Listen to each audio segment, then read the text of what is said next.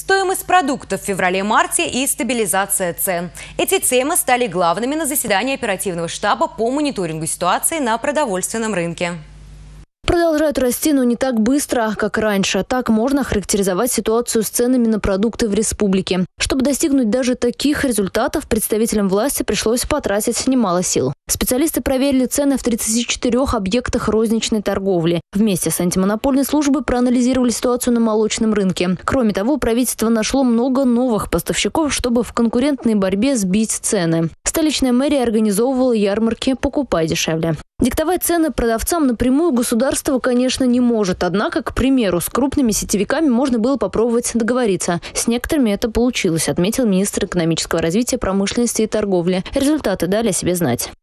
На 16 марта у нас отмечен низкий уровень цен. Это на свинину мы первое место по ФОН занимаем и по России.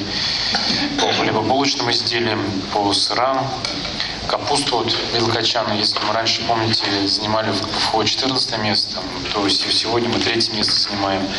По курам охлажденным тоже ситуация была непонятная, сегодня на пятом месте. В рейтинге ситуации по продовольственным ценам среди всех регионов России наша республика на 63-м месте. Впрочем, снижение цен на некоторые товары может иметь сезонный характер. Картофель продовольственный, конечно, подорожал вот за эти два месяца, но последние дни, вот буквально вот с 19 числа наблюдается уже снижение.